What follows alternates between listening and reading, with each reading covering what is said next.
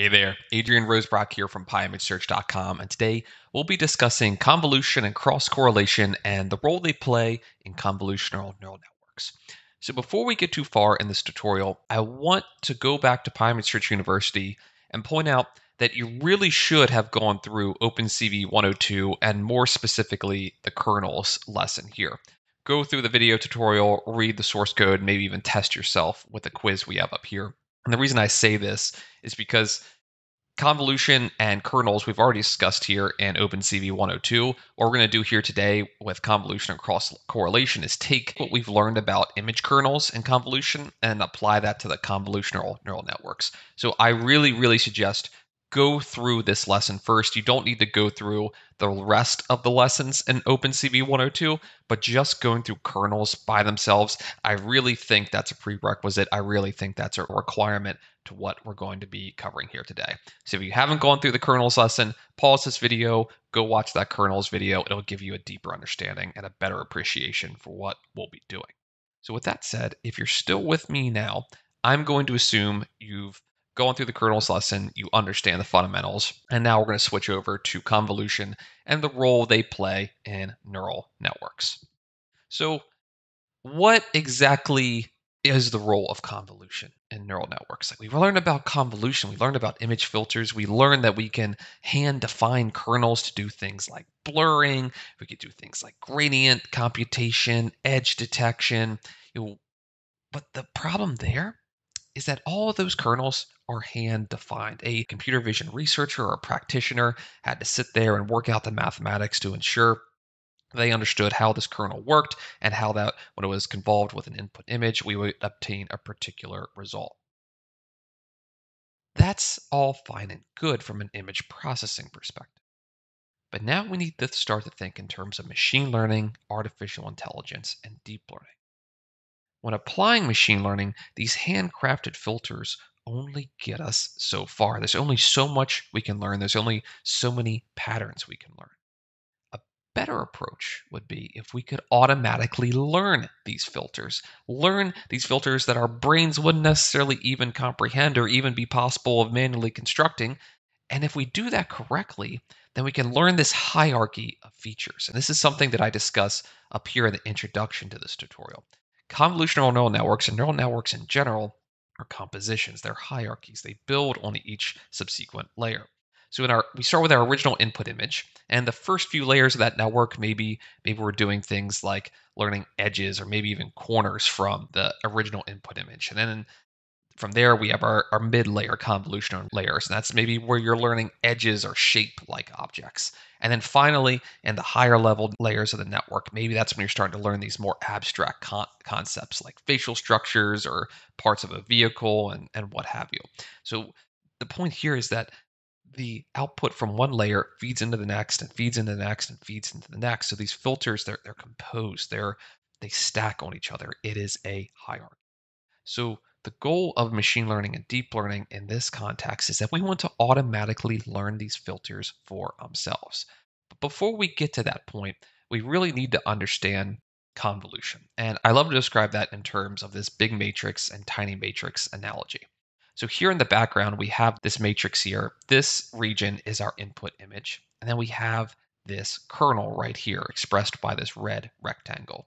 And this kernel is going to slide from left to right, top to bottom, one pixel at a time. And each stop along the way, it's going to take the values of the input image and the values of our kernel.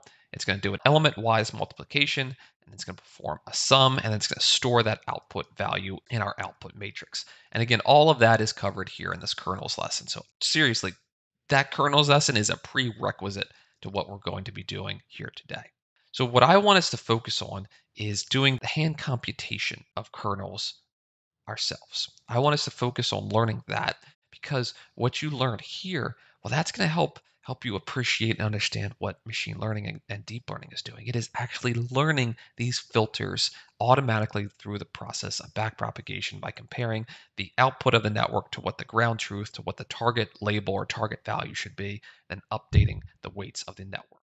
So let's take a look at our project directory structure we have convolutions.py. This is where we're going to hand implement convolution by hand. And then we're going to apply convolution to this input image right here. So again, today isn't meant to be focused on constructing your neural network to actually automatically learn those filters. That is going to come in our, our next course. Right now, we're getting our feet wet.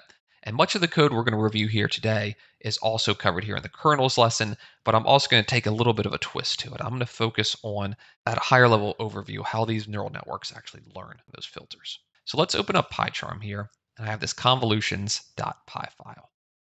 And we start off with our imports. We have this rescale intensity function, which we'll use to scale the outputs of our convolution operation from whatever the input range is to the output range 0 to 255 when we perform convolution, the first thing we're going to do is convert our output data type to a floating point data type because due to the element-wise multiplication, we could end up with negative values. And furthermore, these negative values could exist outside the range 0 to 255. So that's why we perform this floating point operation first. And then once we're done performing all those operations, then we'll convert it back to an unsigned 8-bit integer in the range 0 to 255. The rescale intensity function just makes all of that process very, very simple and straightforward. We have numpy for numerical array operations, argparse for our command line arguments, and then cv2 for opencv bindings. Now let's define this convolve function. This is responsible for actually performing the image convolution. And we pass in both our input image and k, the filter that we're going to apply with convolution. So we grab the spatial dimensions, meaning the width and height, of both the input image and the kernel right here. And then we allocate memory for our output image, taking care to pad pad the dimensions of the input image such that the spatial size of the input image matches the spatial size of the output volume.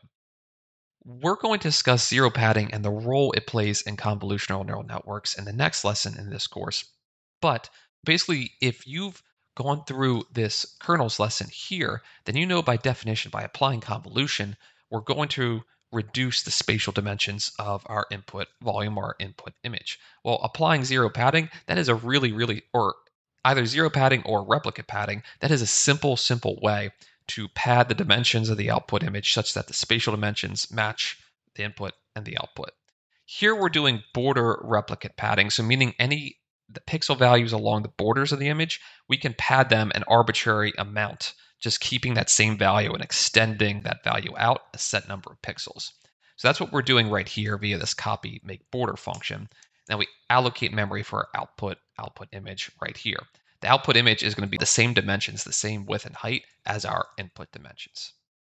Next, we need to perform convolution by sliding the kernel across each xy coordinate of the input image from left to right and top to bottom. So that's what these two loops here are doing. They're sliding the kernel from left to right and top to bottom. At each stop along the way, we're going to extract the region of interest from the input image. We'll perform the actual convolution by taking our element-wise multiplication and summing that value together. And the output of the convolution operation will be stored in our output image right there. So in essence, this loop accomplishes convolution or, or cross correlation. Very, very simple to implement. And I hope you can easily understand this code, especially after going through our kernels lesson where we've already reviewed it before. From there, we rescale the output intensities of the image from whatever the current range is to be 0 to 255 in the output. We then cast them back as an unsigned 8-bit integer so that we can easily display them to our screen using OpenCV. Then we return the output image here. So now let's learn how to apply this convolution operation. We start off by parsing our command line arguments. We need a single argument here, image, which is the path to our input image. And then next, let's start building some of these kernels. These are hand-defined kernels. This is a blurring operation with a 7 by 7 kernel, a larger blurring operation using a 21 by 21 uh, kernel.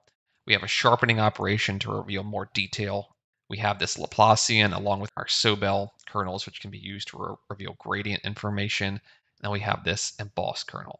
So with all these taken together, we build this kernel bank, which is just a list of two tuples. One, the first entry being our human readable name of the kernel, as well as the kernel itself. I want to really point out these kernels to you, especially these, because this is where you kind of appreciate the effort that some deep learning practitioners and researchers put together from a mathematical perspective to figure out what these values of the kernels should be. Notice these are all three by three kernels, and we've hard coded their values too. Like the first row is 0, negative 1, Second row is negative 1, 5, negative 1. The final row is 0, negative 1, 0. These are hard coded. Hmm. Now, what does that have to do with deep learning? Well, these kernels were hand defined to perform some sort of operation like gradient computation and, and edge detection. But in deep learning, maybe those kernel values aren't optimal to the end task. And maybe we need, say, a 5 by 5 kernel at some place, or maybe a 7 by 7 kernel in another place. Well, how do you extrapolate this kernel to be 5 by 5 or 7 by 7 and how do you know that you should use a sharpened kernel in a neural network? Or how do you know you should be using an embossed kernel or a, or a blurring kernel such as such as this one? Simple fact is that you don't you don't know that. You don't know where those kernels should be should be placed. Instead what you rely on is your abundance of data feeding into the neural network and you're relying on backpropagation, comparing the output of the network as well as the ground truth label or the ground truth value, and then backpropagating those gradients through the network and updating the weights. So, in essence, when you're performing deep learning, you have this concept of a list of, of filters in each convolution operation. But the difference here is that we hand defined this list of kernels called a kernel bank in a convolutional neural network, you're not hand defining those kernels. The convolutional neural network is learning them on your behalf. So, in a way, you can kind of think of it as less work. It may seem like, oh man, it's complicated. I got to pre process my data and I got to format it correctly such that the neural network can be trained. Actually, no. Compared to hand defining all these kernels, imagine that your neural network had a thousand different filters in it, which is actually a small number of convolution operations. And you were responsible for hand defining each of them such that you obtained high accuracy. In all likelihood, that's not possible and you will never achieve that result. But by actually training training our network to automatically learn these filters, that is where the true power of CNNs lies. It takes all this hand defining and guesswork out of the way. It uses gradient descent and backpropagation to learn those filter values, and it makes our lives so much easier. But in essence, that convolution operation, this function we defined here, it's still the same concept of accepting an input image or an input volume, accepting an input filter k, and then applying this convolution operation. The exact same concept except that this filter K, that's automatically learned for us. So let's continue on with this example. We load our input image from disk here, we convert it to grayscale, and we loop over each of our kernels, and then we'll obtain the output using our convolve function, and then we'll obtain the output using the cv2.filter2d function. This is essentially the same as our convolve function, and we do this because we want to compare our custom function implementation with the OpenCV implementation and make sure they match up. And from there, we'll show our output images together. So if I run this script, you'll see the output of running our convolution operations. We have our input image on the left right here. We have the blurring operation using our convolve function and the blurring operation using OpenCV's function. These two outputs are the same, and as you can see, the input has been blurred. Now we can do the same thing now with a larger blur. Notice the outputs here are the same and our image is certainly more blurred. We can do this for a sharpening operation, showing more detail in the two images. We can compute the Laplacian, which will give us a bit of gradient information. We can do that also for the Sobel operators along the x-axis and along the y-axis as well. And then finally, we have this output here from an emboss operation. The key takeaway here is that these filters, these filters are learned for us in deep learning and convolutional neural networks. We don't have to define them. And if you understand that concept, as well as what we've discussed here in kernels and how convolution and kernels actually work, then you're ready to move on to the next steps. You're ready to learn about different layer types and convolutional neural networks and how you can conceptualize them as Lego pieces of how they fit together to build the output to this particular puzzle. It's not that hard. And as long as you understand that we're learning these filters using deep learning, then you're ready for the next steps. So make sure you go through this kernels lesson, absolutely required reading before we start discussing convolutional neural networks and the types of layers. And then make sure you know you read the text version of this article as well. I'll go into a bit more detail. As long as you understand that, you have all the prerequisites you need to be ready to start studying convolutional neural networks. So in our next tutorial, I'll start walking you through the layer types in CNNs and you have a really, really strong foundation and be ready to start implementing your first convolutional neural network. See you then.